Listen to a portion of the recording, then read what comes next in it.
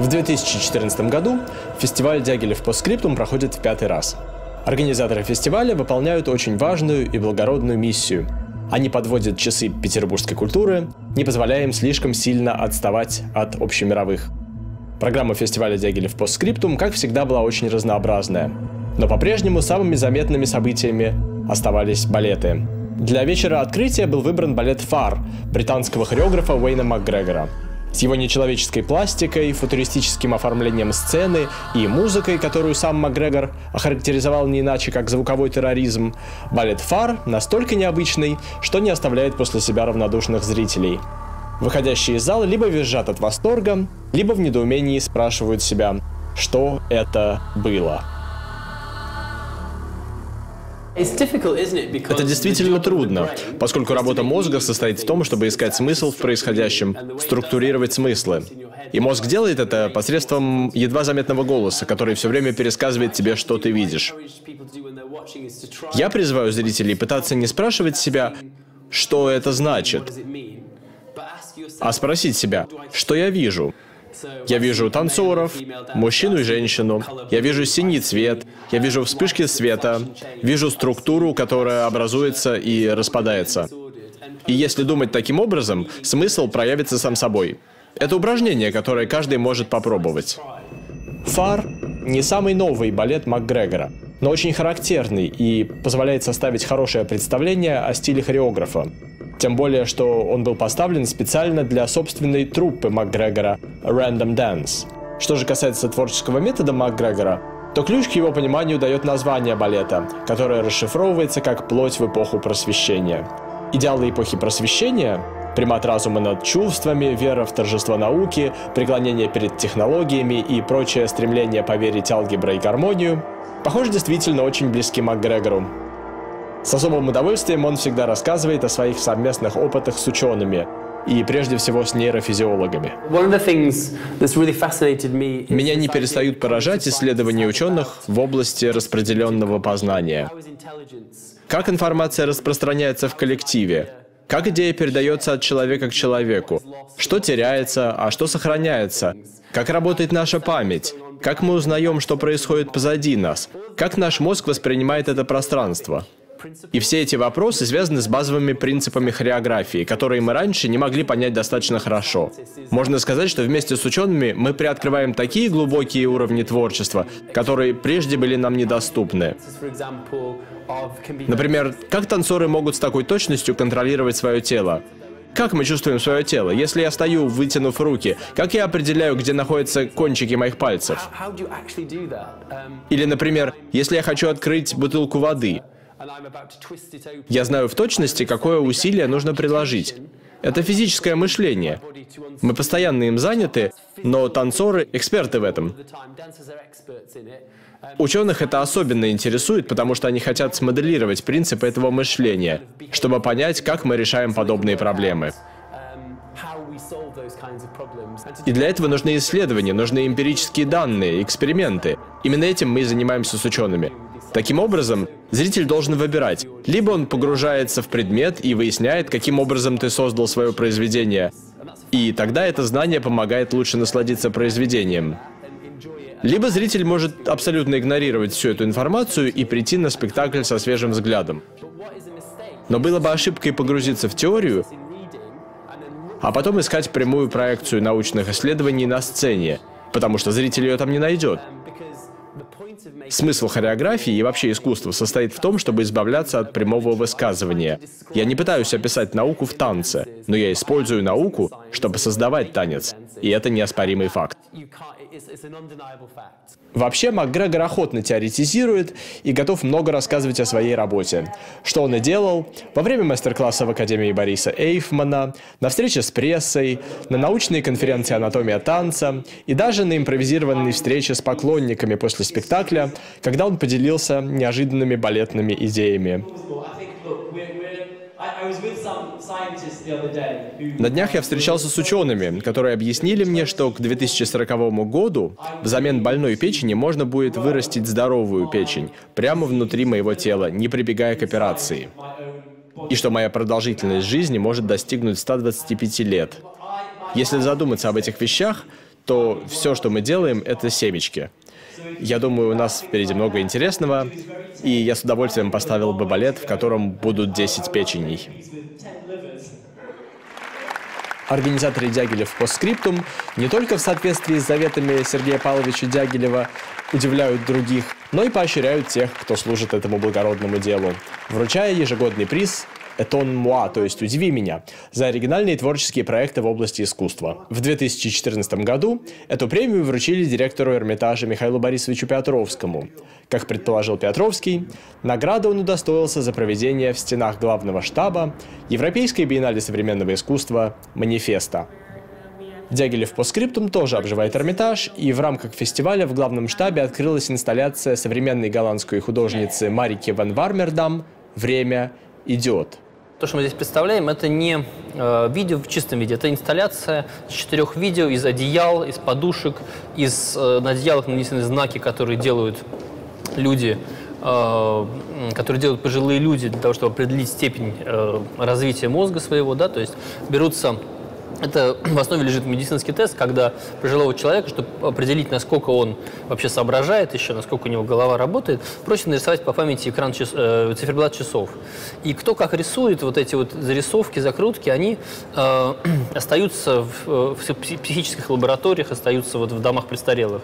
И художница взяла вот эти вот 12 циферблатов с тем, чтобы Э, показать, как, как люди воспринимают время. Потому что как мы видим часы, так мы видим время. У кого-то это счет быстро, у кого-то медленно, у кого-то много цифр, больше, чем нужно цифровать, у кого-то меньше. И вот эти отдельные акценты связаны с тем, что, в принципе, мы э, здоровы, мы болеем, мы спим, мы едим, но время идет помимо этого, оно постоянно идет и протекает. И э, человек, в принципе, зациклен на том, что время когда-то закончится, просто потому что он сам смертен он должен умереть, и он знает это, и он каждый шаг, шагом движется туда. И инсталляция пытается показать э, разные аспекты вот, прочувствования всего этого. Э, и в этом смысле она, конечно, отлично просто от видео, отлично просто от YouTube, потому что ты находишься в целом в неком сложном пространстве, которое тебя совершенно непонятными тонкими акцентами возвращает к той же самой мысли вновь и вновь. Uh, Ваша инсталляция называется «Время идет». А в вашем представлении, по вашему мнению, что происходит, когда время кончается? Да, тогда наступает конец. И что происходит после этого? Тогда надо понимать, мы получаем ответы на все вопросы. Вторым флагманским спектаклем фестиваля стало «Сутра» хореографа Сиди Ларби Шаркауи – для любителей поспорить о границах понятия «современный балет» Сутра представляет любопытный материал, потому что профессиональный танцор в спектакле только один. Все остальные – настоящие монахи монастыря Шаолинь, которые занимаются привычным для них делом – боевыми упражнениями, кажется, совершенно не делая различий между театральным залом и тренировочным двориком монастыря.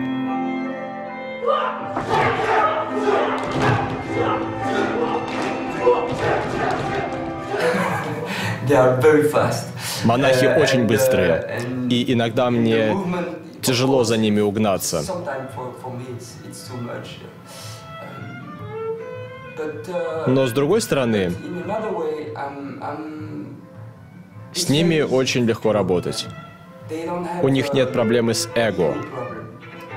Спектакль — это всегда огромное эго, одно большое эго.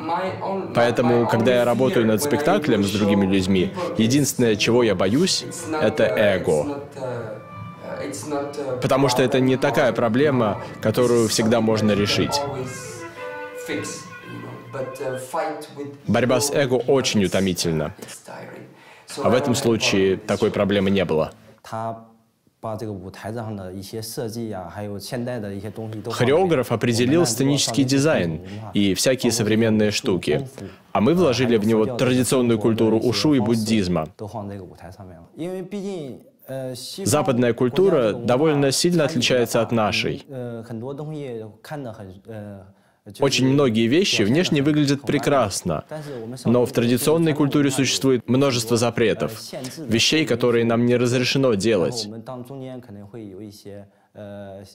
Поэтому в процессе работы над спектаклем иногда возникали споры.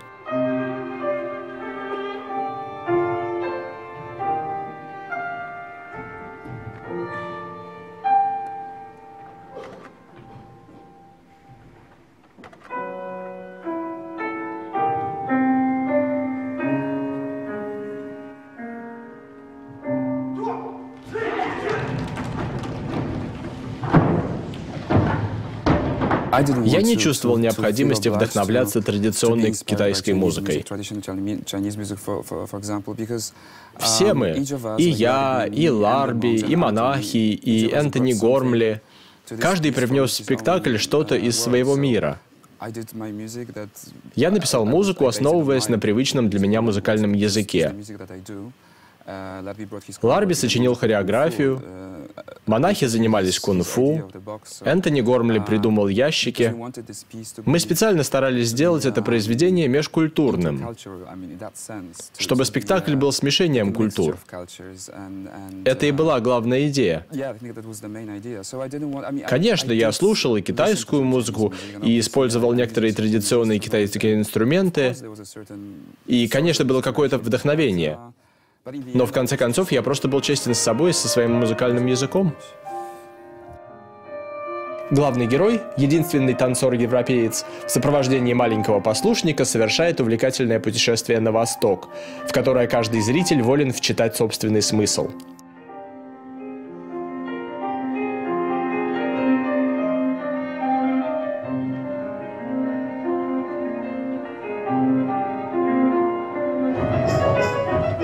Особую роль в постановке играют ящики, придуманные скульптором Энтони Гормли.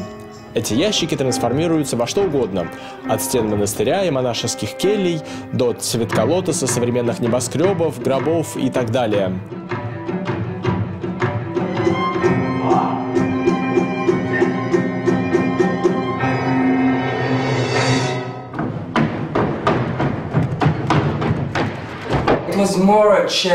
Это была совместная работа. Иногда монахи приносили интересные идеи. Например, мы использовали маленькие ящики, чтобы показать монахам, что хотим сделать с большими ящиками. И вдруг они начали играть с ними, как дети с кубиками. И внезапно они предложили, давайте сделаем из ящиков фигуру лотоса. Таким образом, это был действительно обмен.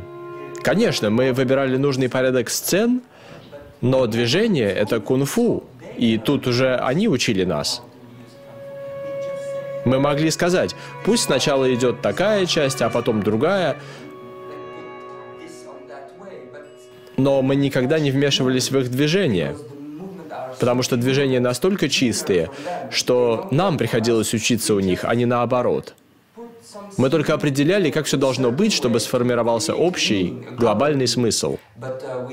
Но нельзя сказать, чтобы мы их направляли.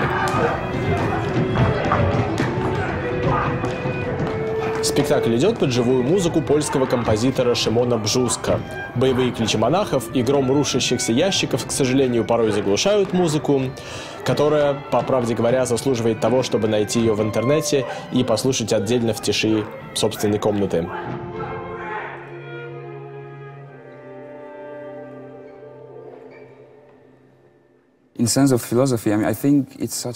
Это настолько многоуровневый спектакль, что каждый увидит в нем что-то разное.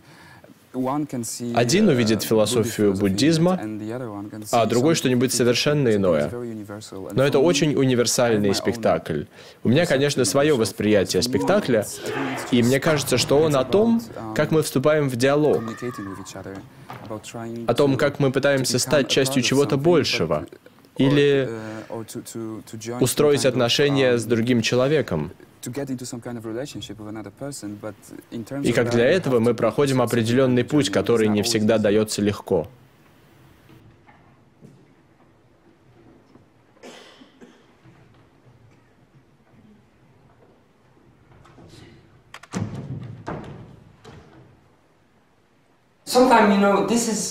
Именно поэтому такие спектакли особенно интересны.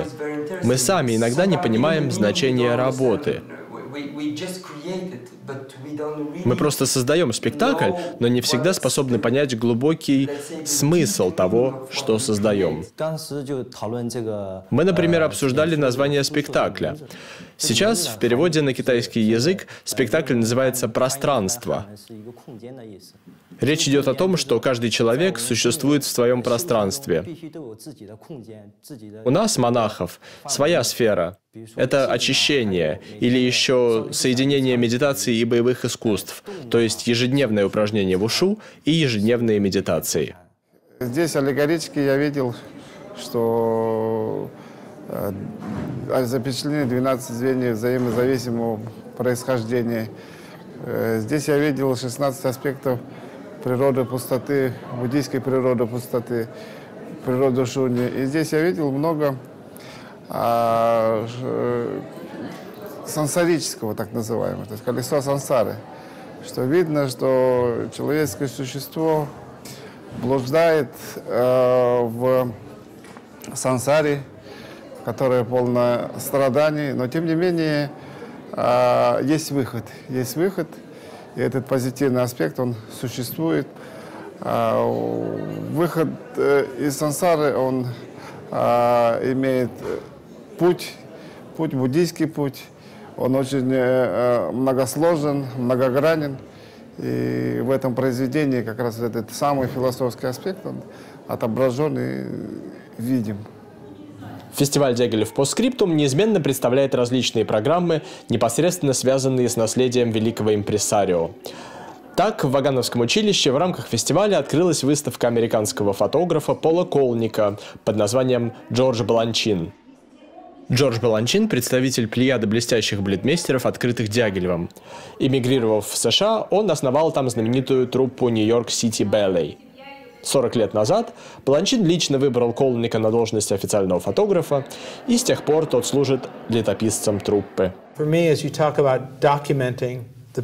Если говорить, что я документирую балет, то я предпочитаю называть свои работы документом, проливающим свет. Действительно, я создаю документ о балете, но мне часто говорят, что мои работы отличаются от остальных. И я думаю, что это как раз связано со светом. С одной стороны, я стараюсь сделать так, чтобы свет исходил от моей работы. В то же время своей работой я проливаю свет на определенные детали. Очень часто, увидев мои фотографии, хореографы говорили мне, что обнаружили нечто, что прежде не замечали в собственных балетах.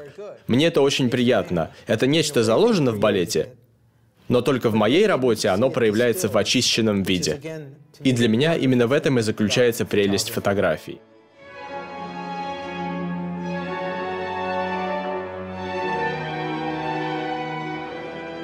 Доброй традицией стало участие в фестивале коллективов из Перми, города, где Сергей Дягилев провел детство.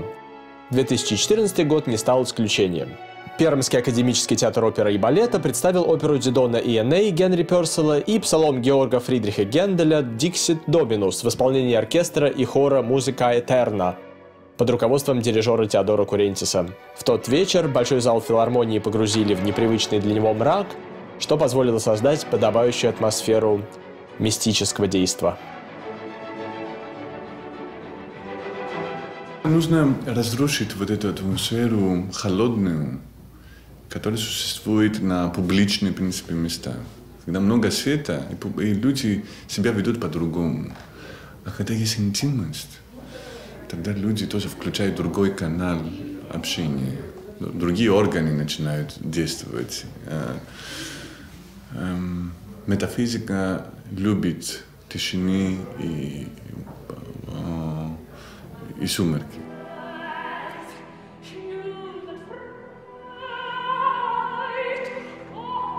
Теодор Курентис известен своей любовью к музыке XVIII века и тщательной работой над материалом. В его исполнении современное звучание тонко сочетается со стремлением к аутентичности. Наша задача – это понять эту музыки при присутствии композитора. Вот это в этом и есть аутентизм. И исторические инструменты – это не из-за того, что, не знаю, просто из-за понта пюризма, а это из-за того, что они действительно создают именно это звучание, которое делают возможным посещение ангелов. Понимаете, вот э, музыка приходит от... Музыка — это э, религия. И каждый инструмент имеет свои свойства в вызывании высоких сил. Поэтому и эти инструменты имеют собственные свойства, которые, может быть, э, не имеют другие инструменты. Естественно, человек играет на инструментах, но люди себя ведут по-другому на этих инструментах. Становятся богаче и умнее.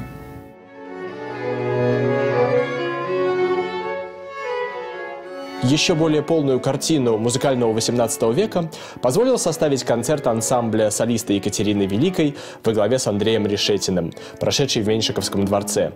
Программа концерта, озаглавленного «Три портрета», была составлена из музыкальных произведений так называемых «дилетантов», то есть композиторов, не считавших сочинение музыки своим главным занятием и заслуживших память человечества достижениями в других областях. Мы все привыкли слушать Моцарта, Бетховена, Генделя. А для того, чтобы лучше понять ту культуру и то время, очень интересно как раз персонажи не первого ряда, скажем так, и дилетанты в особенности. То есть вот для всех троих этих композиторов и Вильяма Гершля, астронома, и капитана королевских мушкетеров и лучшего фехтовальщика второй половины XVIII века Шевалье де Сен-Жоржа, и для э, алхимика такого очень загадочного персонажа графа де Сен-Жермена – Очевидно, музыка не была чем-то главным, но при этом она составляла очень важную часть их жизни, раз они писали такую хорошую музыку. И нам кажется, что э, такой концерт и знакомство с подобной музыкой поможет лучше понять и самых знаменитых композиторов того времени. Э, изучение музыки — это общение с человеком. Ты пытаешься понять его ход мысли, а после этого и его ход чувств. И ты понимаешь время и страну гораздо лучше, потому что эстетика — это и есть наилучший портрет времени и эпохи. Заключительным аккордом фестиваля стал вечер одноактных балетов «Наследие Балерюс». Пермский академический театр представил балеты «Шут» и «Свадебка».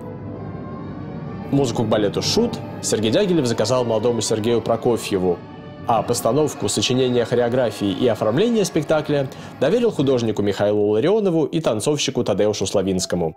После премьеры в 1921 году Шут не исполнялся 90 лет, и только в 2011 году в Пермском академическом театре был поставлен снова.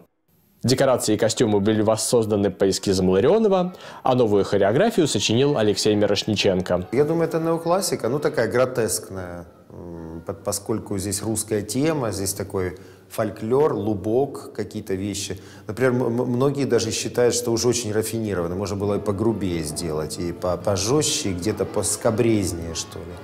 Вот, что, например, некоторые московские критики упрекали меня за, ну, понятно, это ваша питерская интеллигентность, как бы, и тут Э, значит, везде во всем сквозит. Надо было смелее, грубее. Вот, не знаю, мне кажется, что здесь достаточно всяких таких шуток. Здесь же ведь либретто еще такое, действительно, извините меня, с одной стороны сказка, да, вот там я даже не знаю, что... Кстати, надо вспомнить, что там стоит на этом спектакле. 12 плюс или 16?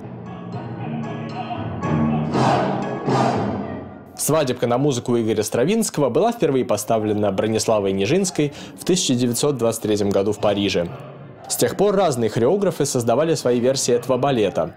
Но наиболее известна свадебка Иржи Килиана, которую он поставил для труппы НДТ. Впоследствии Иржи Килиан передал право исполнения своей свадебки Пермскому театру оперы и балета – их всех, э, и Иржи Киллиана, и всех, э, так скажем, э, классиков 20 века, и Кеннет Макмиллан, и Фредерик Аштон, и Баланчин, фонды, ну я имею в виду, и Робинс, все, их всех очень подкупает история и трогает. Поэтому кому, кому-то они отказывают, а вот Перми они не отказывают, потому что их очень трогает история вообще возникновения балета в этом городе что в 1941 году была эвакуация. Мы, кстати, в 2011 году, когда было 70-летие, повесили на театр мемориальную доску, на ней изображен Кировский Мариинский театр и Пермский. И вот это было 70-летие эм, эвакуации Кировского театра и училища имени Вагановой в Молотов, в Пермь.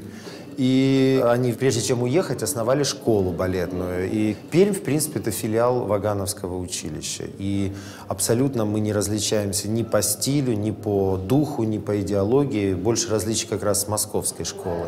Поэтому вот, вот эта вот история, она нам помогает э, получать лучшие вещи. Здесь у Киллиана другая сложность. Ведь если, когда мы ставим Баланчина, Макмиллана, кого угодно, Форсайта, это, в принципе, нам близко, это, это ну, это неоклассика, то здесь другая работа и корпуса, и очень сложен он по перемещению. Но э, ведь Килиан Чех, он славянин, и вот спектакль как раз вот славянским таким духом, он весь пронизан, и ну, это гениальная хореография.